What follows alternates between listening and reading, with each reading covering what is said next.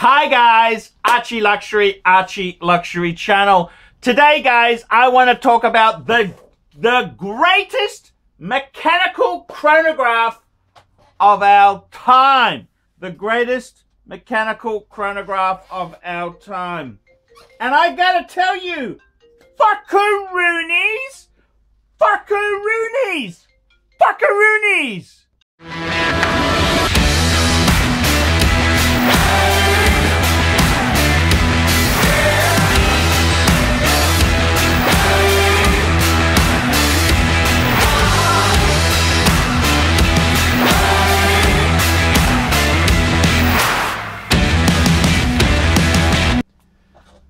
Okay guys, the greatest mechanical chronograph of our time. Now this is a very, very interesting thing here. So what is it? What is it? And I gotta be honest with you, we have to, it's gotta be, it's gotta be a piece which is automatic. It's gotta be automatic. I know the Lange 1815 chronograph is amazing. It's manual wind. The Patek 5170, yes, yes, yes, but it's got to be a piece which is automatic. I'm sorry, fuckaroonies. It's got to be a piece that's automatic, and it's got to be a piece which is under 20,000 US dollars. Okay? So let's have a talk about that. So immediately, the fact that it's automatic, it throws out the Omega Speedmaster Man on the Moon. The Moon Watch. Unfortunately, yes, it's manual wind. Um, to be automatic. So when we start talking about automatic chronographs, uh, we start thinking to ourselves, two heavy hitters.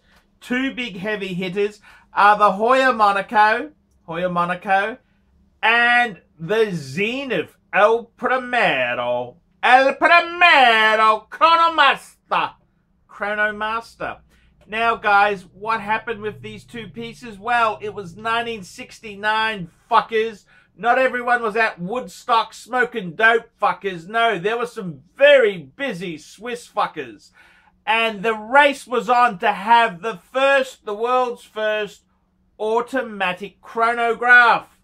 And uh, it's quite interesting. Zenith had developed the El Primero movement which uh, was going to be, it was built from the base up as a chronograph, whereas Heuer was working with a consortium and they were basically adding a module to an existing automatic movement. So I gotta be honest with you, module systems, it's okay, but it ain't no fucking cigar. It ain't no cigar, fuckers. That's right. I think, in all honesty, uh, the module system, it's the same thing. I mean, even with AP, AP uses a lot of module chronographs in their uh, Royal Oak Offshore series, but hey, fuckaroonies, I'm sorry, it's got to be engineered into it, and that's why I gotta, I gotta award it to the Zenith, the Zenith El Primero, and uh, getting confused upside down with that left hand uh, Heuer there. But uh, the Zenith El Primero, that's correct, the El Primero. This is the greatest chronograph of all time. This is a, now why is it so great? Well, it has to be in-house haute horology. We can't be using someone else's movement in our watch. And actually, to actually be honest there, Zenith did actually sell a detuned version of this movement to Rolex. That's correct. Rolex, industry leader in luxury wristwatches. Now, Zenith themselves there, let's discuss this. Zenith themselves there, the El Primero Chronomaster, 1969.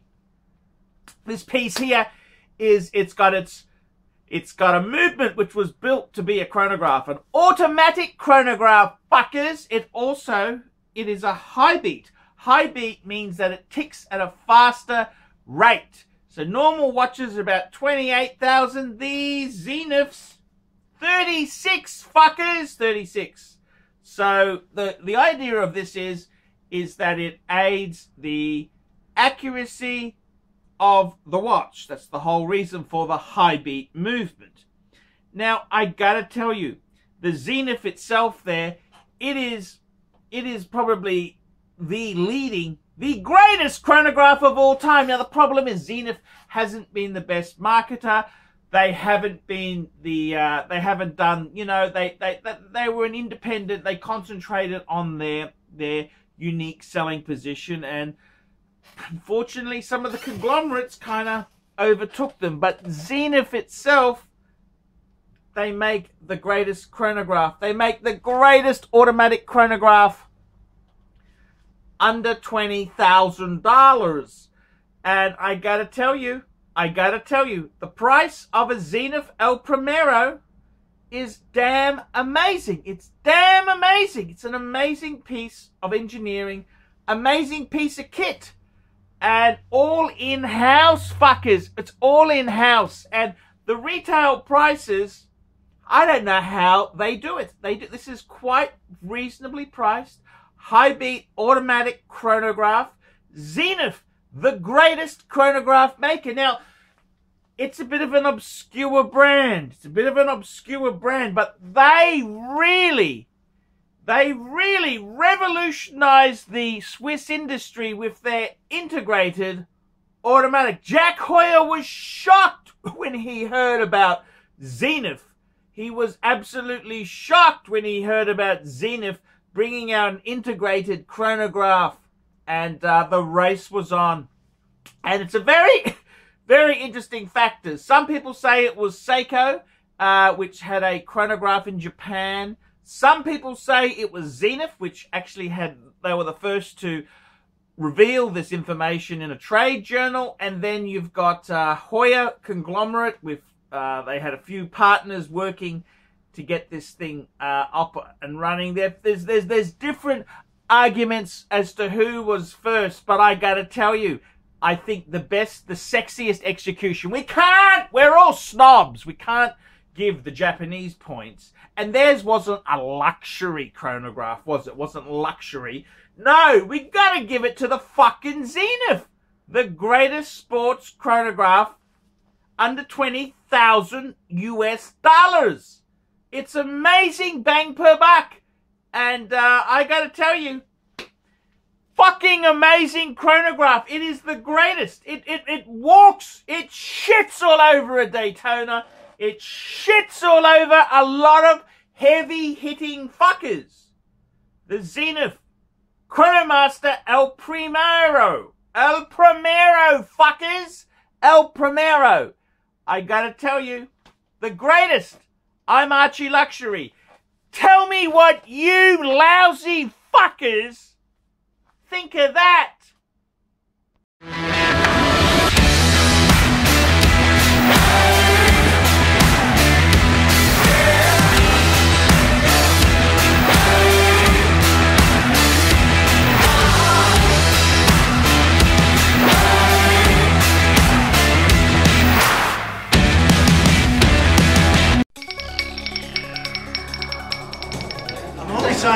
It costs nothing.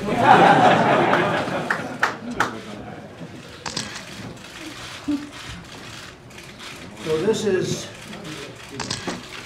the congratulations to everybody.